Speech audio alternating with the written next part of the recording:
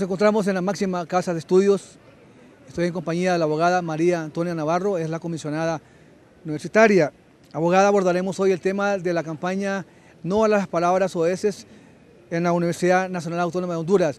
¿Cuál es el objetivo, abogada Navarro, de esta campaña? Bueno, son, son tres objetivos. El objetivo primero es hacer que todos los miembros de la comunidad universitaria reflexionen y tomen conciencia del buen uso del idioma español.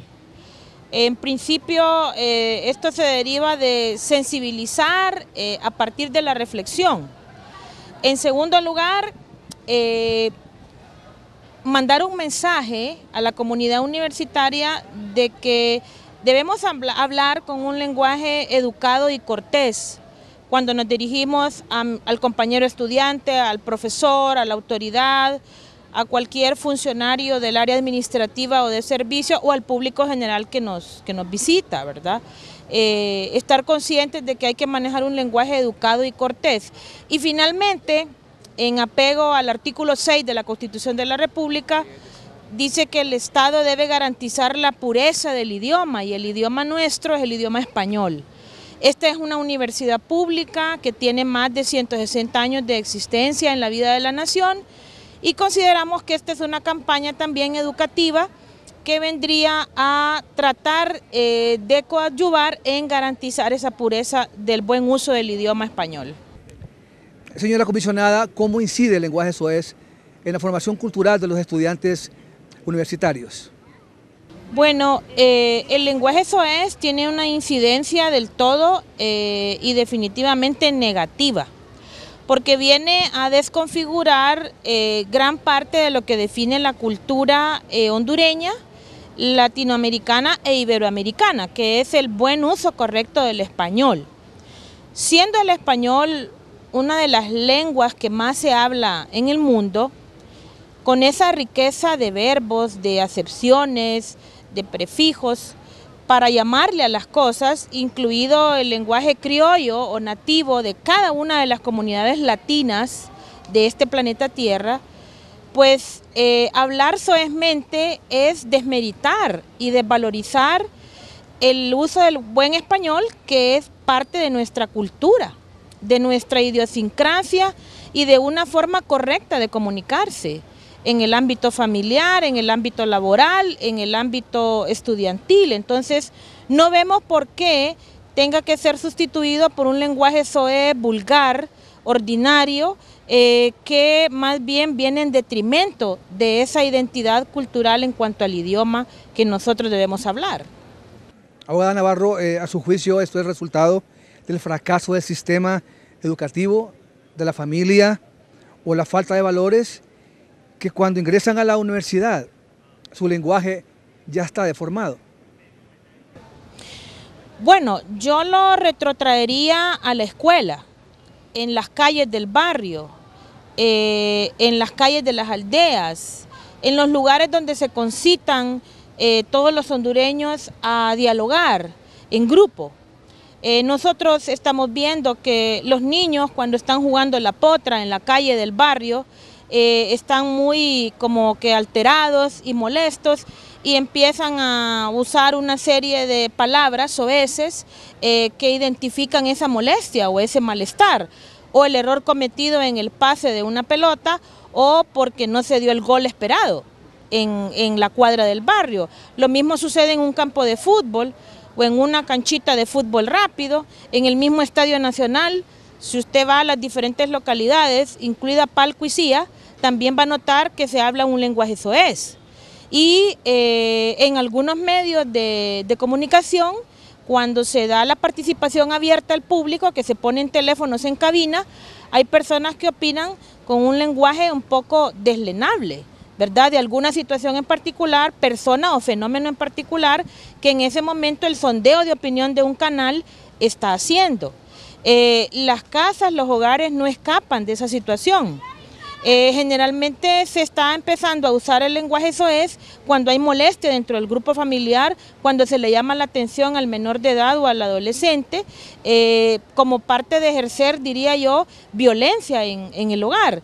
el grito y la palabra soez no es la forma eh, de disciplinar a un miembro de la familia.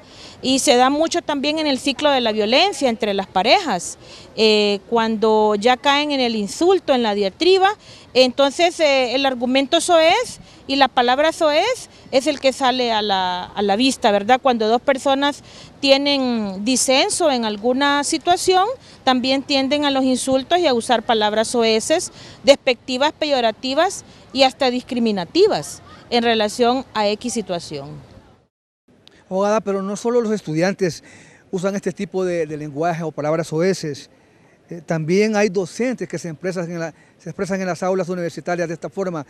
En este caso, ¿tomarán ustedes algunas medidas? Bueno, en esta primera campaña nosotros estamos queriendo sensibilizar y estamos queriendo hacer ese llamado de atención y hacer reflexionar en que la palabra tiene poder y en la medida en que se divulgan eh, las feas palabras oeces como parte de comunicarse en una comunidad, en esa medida estamos degenerando el respeto y la cortesía que debe imperar en una comunidad universitaria. Y es que eso es obligado por el hecho de que nosotros, los universitarios, cualquiera que sea el desempeño dentro de la comunidad, somos los llamados a tener la alerta temprana y permanente de la reflexión de cómo hablamos y cómo queremos expresarnos y qué es lo que decimos, ¿verdad? En ese tipo de situaciones, yo pertenezco a una generación en donde crecí eh, educándome y comprendiendo que la palabra soez, eh, vulgar, ordinaria y malcriada, no es una forma de expresarle a mi compañero de aula eh, mis sentimientos y mis pensamientos. También comprendí que no es la forma en que un docente universitario que está formando profesionales debe expresarse de ciertas situaciones que le incomodan o que le provocan algún grado de ser eh, irascible en ese momento. Tal vez no es la, forma en que una autoridad quizás deba dirigirse a los subalternos. No importa el estado de ira en que nos encontremos, ¿verdad? Eh, por eso nosotros llamamos al primer objetivo activo reflexivo. ¿Por qué? Porque antes de hablar debemos pensar lo que vamos a decir. Y qué mejor que decirlo en la pureza del lenguaje español.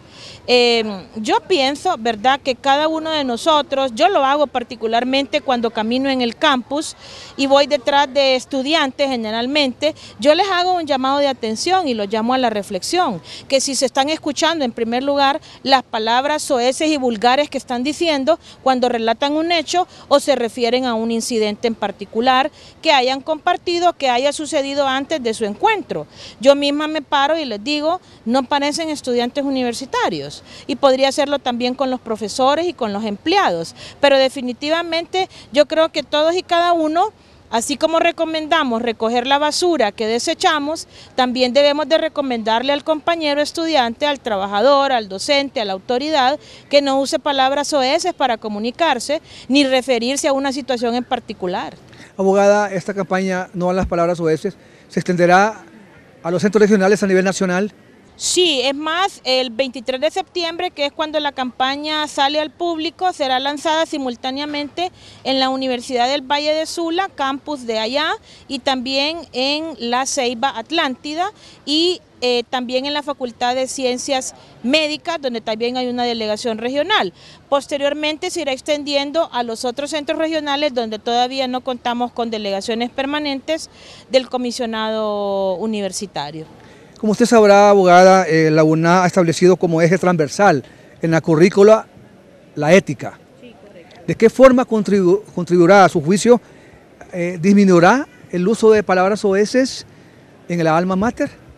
Bueno, es de una forma fundamental porque si nosotros seguimos manteniendo la pureza del idioma y decidimos comunicarnos cortésmente y educadamente a los miembros de la comunidad, no vamos a estar generando violencia, vamos a ser transparentes y respetuosos del buen uso del idioma español y vamos a apelar a situaciones de la ética en el sentido de que toda persona tiene que saber comportarse dentro de una comunidad universitaria. ¿verdad? Para reclamar los derechos hay que tratar a los demás como nos gusta que nos traten. Abogada, ¿cómo se podrá eh, mejorar, en este caso, el acompañamiento de esta campaña para tener un mayor impacto? ¿Qué estrategias usted pondrá en marcha? Eh, el día de la campaña yo, yo voy a solicitar a todos los docentes, así como se nos pide los primeros 5 o 10 minutos en el aula, reflexionar sobre la ética. Yo también voy a pedir a la comunidad universitaria, a los jefes de las oficinas administrativas, a los docentes en las aulas, a las autoridades en sus alocuciones o intervenciones, que se tomen 5 o 10 minutos para hablar sobre eh, este lenguaje soez y vulgar, deslenable, que desmerita la esencia de lo que es el alma mater. No me imagino a José Trinidad Reyes, fundador de esta universidad, nuestro amado Padre Trino, pensando en que 160 años después los discípulos de esta idea eh, que él tuvo en mente y que la materializó aún después de su existencia, eh, no me imagino al Padre Trino eh, escuchándolo caminar entre los pasillos y avenidas de esta ciudad universitaria, escuchando esas palabras oeces. Yo creo que él se habría parado, habría protestado y habría escrito y habría hecho los llamados de atención respectivos. Entonces, si nosotros hemos sido en una trayectoria de trabajo institucional, eh, herederos de ese sueño del prócer José Trinidad Reyes, no veo por qué no traigamos esa evocación al seno de la comunidad universitaria. Lo correcto es no hablar soezmente, lo correcto es hablar el buen idioma español. Abogada, con esta campaña también se pretende que la universidad se convierta también en un referente nacional. En las últimas administraciones, sobre todo de la rectora Castellanos, eh, se ha recuperado la credibilidad, la universidad se ha convertido, eh, ha estado en los ojos de todos los sectores de la sociedad y en este caso pues eh, no sería la excepción, que la academia diera este gran ejemplo a la nación. Sí, claro que sí. yo quisiera que esta campaña se hiciera extensiva a los niveles de secundaria y de primaria, porque como le decía, no creo que los recreos en los institutos de media y de primaria estén exentos de este lenguaje, claro que está presente. Y creo que los maestros eh, eh, se han descuidado un poquito con los llamados de atención que solían hacerle a uno, por ejemplo, cuando yo transité por las aulas de primaria y secundaria. Siempre nos llamaban la atención cuando por algún exabrupto nosotros hablábamos soezmente. Eh, en aquel entonces, como lo es ahora, es despectivo y desagradable, repito, perdonen que insista y que me vuelva cansona en este aspecto, hablar soezmente es eh, parte de lo maleducado que somos, de lo vulgar en que nos podemos convertir, de no estar conscientes de la herencia del idioma español que tenemos, que como he dicho tiene una riqueza significativa para poder expresarnos, y de la necedad de tener conductas chabacanas y maleducadas que pareciera que son las que imperan en una comunidad de intelectuales y futuros profesionales, ¿verdad? Eh, todo mundo tiene una expectativa bien alta de lo que es un universitario, llámese estudiante, llámese profesor, llámese rector, vicerrector, decano, decana. Y escuchando que de su boca salen palabras oeces, imagínese usted qué desesperación o qué frustración sentiría alguien cuando dicen y es estudiante universitario, y es docente universitario, y es autoridad universitaria. Así que vuelvo y repito, el eslogan nuestro, la palabra tiene poder y en base a lo que hablamos eh, y eh, por lo que sentimos y expresamos, pues denotamos de los demás aceptación o rechazo. Dos preguntas más. ¿Cuál es el siguiente paso en esta gran campaña que usted lidera?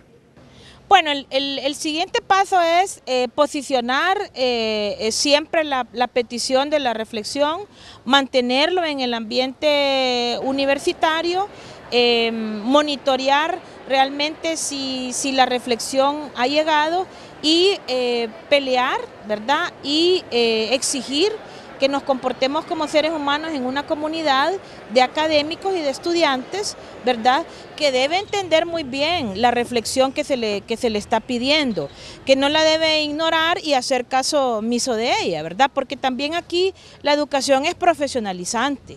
Y usted no va a ir a una oficina de la empresa privada, del gobierno, eh, a tratar mal a sus compañeros con palabras oeces, ¿verdad? Yo creo que eso sería sujeto a disciplina laboral o a que sus compañeros de plano rechacen su conducta eh, malcriada, vulgar y ordinaria de hablar. Abogada, le dejamos los micrófonos de la televisión eh, universitaria para que nos dé un mensaje final a esta comunidad estudiantil y al pueblo hondureño. Bueno, en primer lugar agradecer a nuestra eh, canal de la televisora, el canal llamado el Canal de la Cultura, por haber considerado que eh, garantizar la pureza del idioma español es algo que nosotros debemos de hacer de forma permanente, sobre todo porque hay que retomar eh, los valores y los principios que se han decantado en este país. las cosas que antes eran anormales pareciera que están siendo normales, pero yo pienso que tenemos la capacidad de reinventarnos como seres humanos, como comunidad académica. Y quisiera también pedir eh, a los padres de familia que me escuchan a través de la teleaudiencia de UTV, que también reflexionen en sus hogares eh, la forma de hablar de sus hijos, ¿verdad? Eh, una forma eh, que los demerita, que los hace personas hablar peyorativamente, despectivamente, vulgarmente y maleducadamente. Entonces, en ese sentido, creo que todos pueden ser colaboradores de esta gran campaña de no a las palabras oeces. Y con estas reflexiones de la abogada María Antonia Navarro, comisionada universitaria sobre la campaña No a las palabras oeces en la UNA, retorno a los estudios de la televisión universitaria. Les habló Ramón Morales.